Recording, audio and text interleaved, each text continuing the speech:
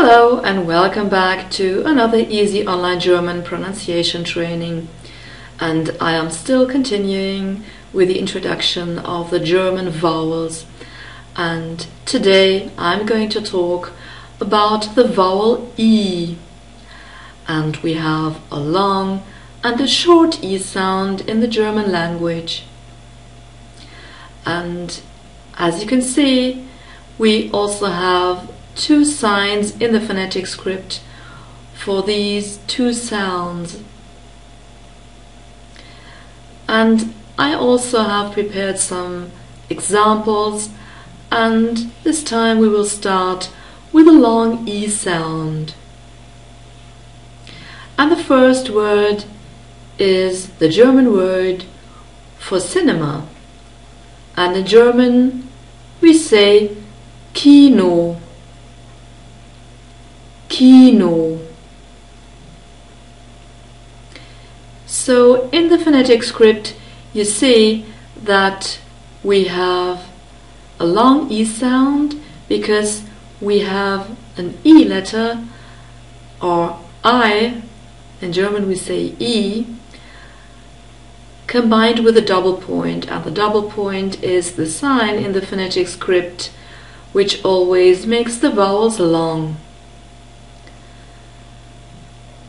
And we have a normal O, a German O,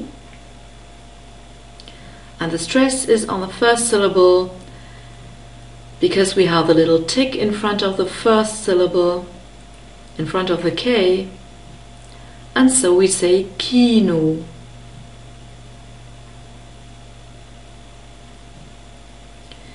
We don't have double I like uh, we have double A or double E. We don't have that in the German language. The only thing we have, we have a diphthong, the German E, E, or we write I and E, and this is the long E sound, like in the word sieben, and this is the German translation for the number seven. So in the phonetic script you see the long E sound and moreover we have an unstressed E, an E sound in the last syllable. So this is the sign which looks like an E turned upside down.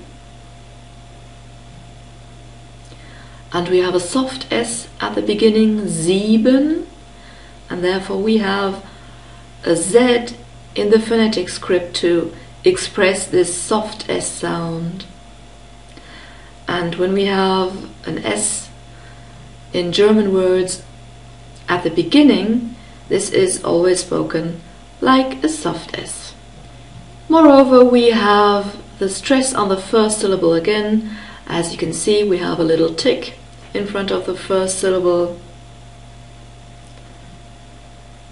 and besides this EE is a diphthong and normally this is another topic but I'm just giving this example because we do not have double I but for that we have EE or I and E as a German diphthong. Then we can have an I in combination with an H and this is also a long E sound. For example, in the word for him, and this is ihn, ihn.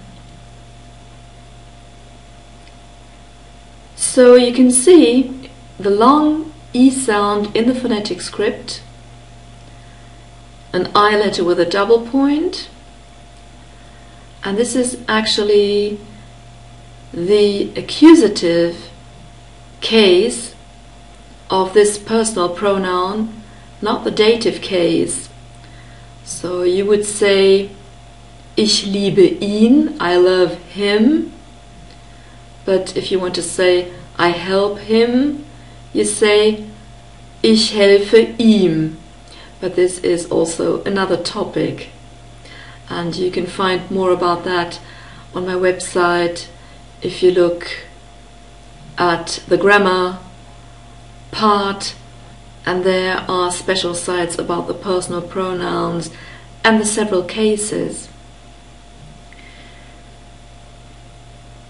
So the long E sound is very intensive, I'd say, at least in the German language, and about the tongue position, you can say that the tongue is very close to the roof of your mouth.